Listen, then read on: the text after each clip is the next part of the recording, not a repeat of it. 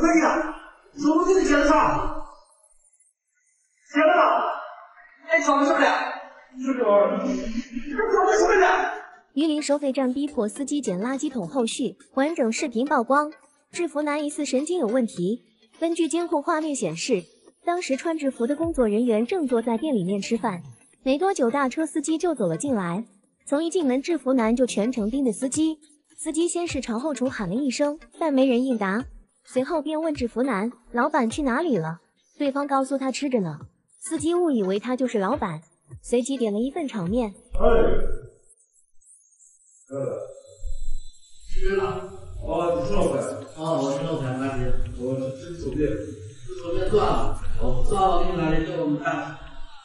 这是一罐是怎么样？哦，你我白饭的。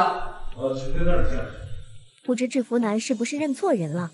他突然对司机说：“年轻人啊，我们这站收坑蒙拐骗的人不少，你没看见我穿的制服啊？”老板啊，别怕，我们这站车票都是坑蒙拐骗不了。司机明显愣了一下。就在这时，老板从后厨出来了，询问司机吃点什么。司机说来份炒面。本来事情到这也没什么，毕竟司机并没有理会制服男。可对方不知哪来的邪火，突然站起身将他的面倒进了垃圾桶，还要求司机用手去垃圾桶里面捡着吃，态度十分恶劣。这个时候，司机还是没有理会他。自顾自地看着手机，但制服男人不依不饶，继续追问司机是哪的人，大有一副刨根问底的架势。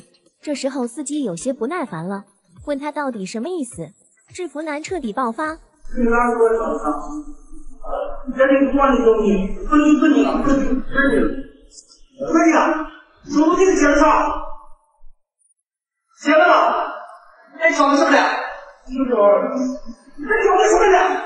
制服男不停质问司机为什么跟他抢着吃，司机委屈的表示我吃什么了？没想到制服男更生气了，一手掐住司机的脖子，大声呵斥你在狡辩什么，并且满嘴的脏话。司机终于忍无可忍，开始反击。就在事态愈演愈烈的时候，老板上前进行劝阻，但两人并没有停止骂战。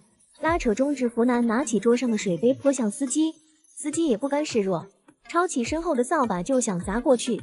幸好被老板制止了，但两人还是拉扯到了门外。由于超出视频画面，两人究竟有没有动手，我们不得而知。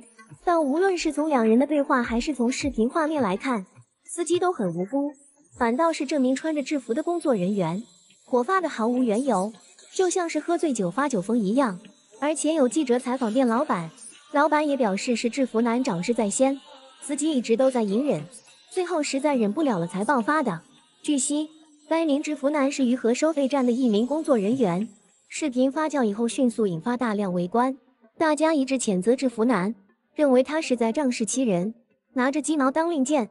很快，当地官方就对此事进行了回应，通告称涉事制服男已被停职检查，后续会进一步调查处理。但网友们却并不买账，认为通告写的太敷衍，处罚太轻，既没有将事情的来龙去脉写清楚，也没有披露制服男的身份信息。他在收费站究竟是什么角色？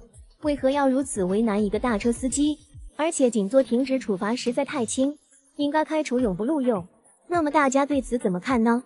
评论区畅所欲言。我们下期再见。